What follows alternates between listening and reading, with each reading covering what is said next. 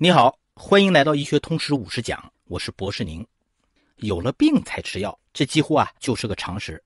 但是咱们今天说的药却是给健康人吃的。咱们知道，人是这个地球上唯一一种不以繁衍为主要目的而进行性交的物种。但是性交又很难和繁衍分割，所以女性参与性活动代价呀远远大于男性。首先就是过度生育问题。这会让女性没办法工作，依附于男性，生产过程有风险，还会带来疾病、死亡、贫穷，社会负担也会过重。其次，意外怀孕又带来了堕胎问题和身体伤害问题。避孕药就是用医疗解决这两个问题的核心，它是药的升级，它主要不是为了治病，但是啊，却用药的形式把女人的身体还给女人。权威期刊《英国医学杂志》把避孕药评为医学的十五个里程碑之一，和抗生素、疫苗、DNA 的发现并驾齐驱。《经济学家杂志》把避孕药看作是二十世纪最重要的科学进步之一。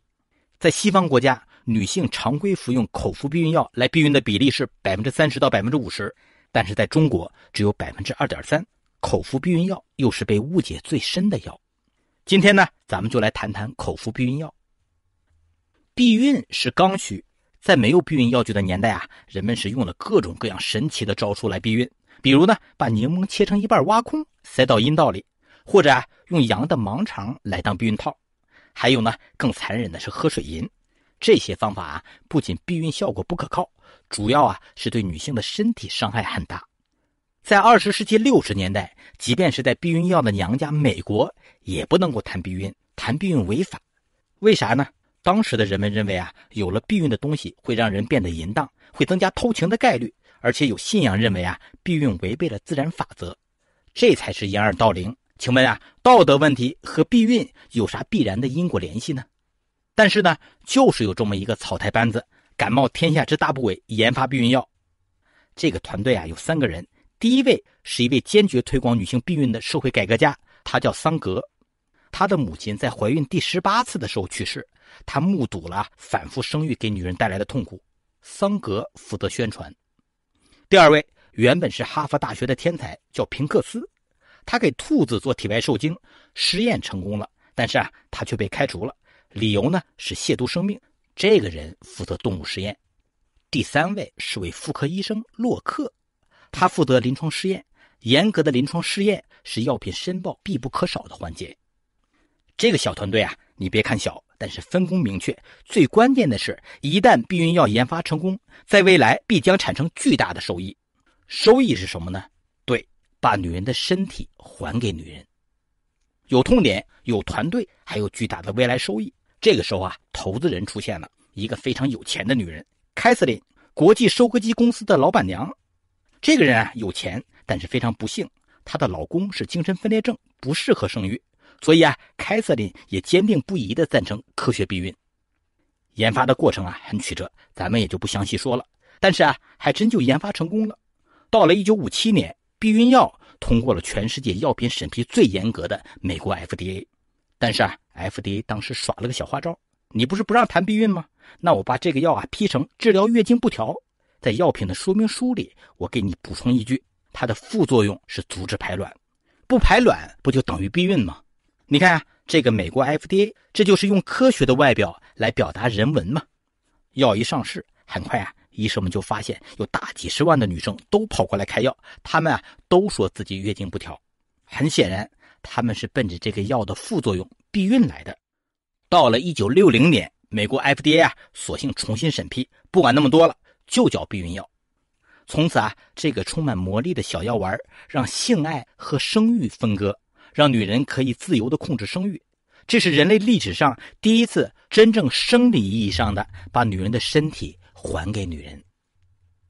虽然避孕药可以名正言顺的避孕了，但同时啊，也带来了新的烦恼。有些女性因为痛经到医院，医生给开口服避孕药，她们啊只能偷偷摸摸的吃。为啥呢？就是因为这个药的名字叫避孕药。其实口服避孕药的作用可不仅仅是避孕。它还能治病，它对于痤疮、功能性子宫出血效果都很好。有研究表明，对于子宫内膜异位症引起的痛经，缓解疼痛的有效率可以达到百分之七十九点七。除了治病，你肯定想不到的是，对于不孕症的病人，口服避孕药甚至可以辅助怀孕。比如多囊卵巢综合征，这些病人啊，就是因为激素水平紊乱了导致不孕，口服避孕药就可以调整月经。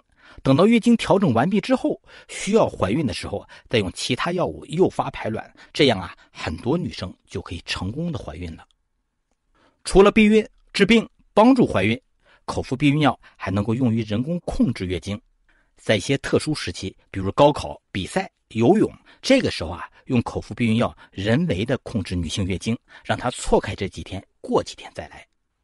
另外，已有的研究证据表明。口服避孕药对于减少某些妇科癌症还具有一定的作用，长期服用可以让子宫内膜癌的风险减少百分之五十，让卵巢癌的风险降低百分之四十，而且即便是停药后，保护作用还会持续很久。所以，口服避孕药只能用于避孕，这不对，这是对它的第一个误解。第二个误解就是认为啊，口服避孕药是激素，会有副作用，会变胖。其实，咱们今天说的口服避孕药是雌激素和孕激素的合剂，这和临床上引起发胖的糖皮质激素是两码事少数病人呢，确实在服用早期可以有轻度的水肿、体重增加，但是啊，非常轻微，持续服用这种作用也就越来越小了。还有人认为啊，口服避孕药会影响要孩子，这就更是误会了。口服避孕药这个月停，下个月就可以正常怀孕了。但是呢，必须说明口服避孕药也有一定的副作用，它最大的副作用就是增加了静脉血栓的机会，所以三十五岁以上吸烟或者啊有心脑血管疾病的女性就不推荐使用口服避孕药了。关于避孕药的第三个误解就是把口服避孕药和紧急避孕药混淆，不敢吃口服避孕药，但是啊却不拒绝紧急避孕药。根据药店统计。每年情人节过后，紧急避孕药的销量啊都会增加百分之五十。要知道，口服避孕药和紧急避孕药是两种东西，两码事儿。口服避孕药呢，主要是通过抑制排卵，防止怀孕，副作用很小；而紧急避孕药是阻止了受精卵的着床，它的副作用啊远远大于口服避孕药。口服避孕药让性爱与生育分割，这是让女人能够为自己身体做主的关键一步。但是啊，医学所做的远不止这些。接下来就是想生的时候可以安全的生，把生育和死亡分割。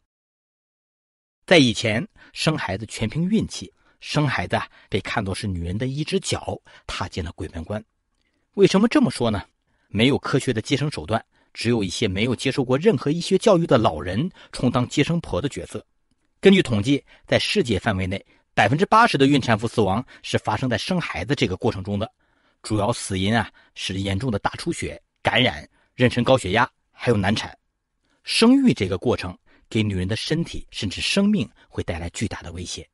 只要是发生了大出血，或者啊娃娃的头部太大，很难通过产道的时候，或者啊胎儿体位异常、胎位不正的时候，那多半情况下就是产妇死亡，或者是一尸两命。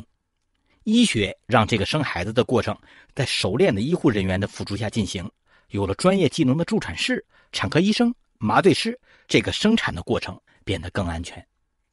手术可以处理大出血、缝合撕裂的产道，有效止血；各种助产技术可以在胎位不正的时候辅助生产，危急的时候啊还可以进行剖宫产。抗生素和无菌操作又减少了围产期的感染。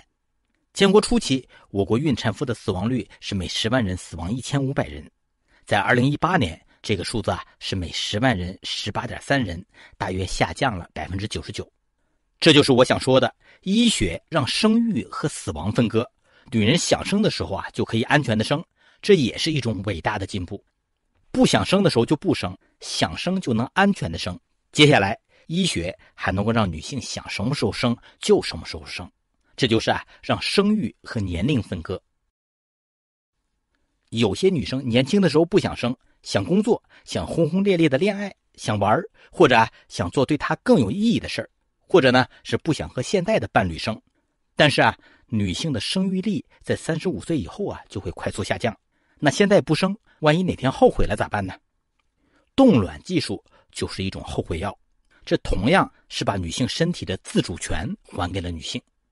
根据网络报道，苹果、Facebook 还有啊携程公司都相继出台了给女高管报销冻卵费用，还有啊带薪年假等等等等措施，鼓励他们为事业先奋斗。我介绍一下，冻卵就是把卵子取出来之后啊，放到保护液里，然后啊立刻投入到零下一百九十六度的液氮里保存起来，就像瞬间被冰封到了玻璃里面一样，所以呢也被称为玻璃化冷冻。需要的时候啊，再取出来复原就可以用了。当前的医疗技术还没办法保证冷冻卵子啊百分之百的能够复原、能够受孕，而且根据国际惯例，保存期啊通常也不超过五年。根据美国成功率最高的新泽西的一家辅助生殖中心报道，冻卵复原后成功怀孕的比例最高啊可以达到百分之六十一点三。当然呢，这是要求必须在三十五岁之前冷冻。如果超过四十岁再冷冻，这个成功的比例就会降低到百分之四十四点六。但是在未来，随着医学的进步，这项技术一定会做到成功率越来越高，安全保存年限越来越长，给更多女性提供更多选择。我来总结一下：第一，口服避孕药让生育和性爱分割；第二，专业的助产技术让生育和死亡分割；第三，冻卵技术。让生育和年龄分割。最后，我也送给你一句话：未来一定会来，让他准备好了再来。我是博士宁，咱们下讲见。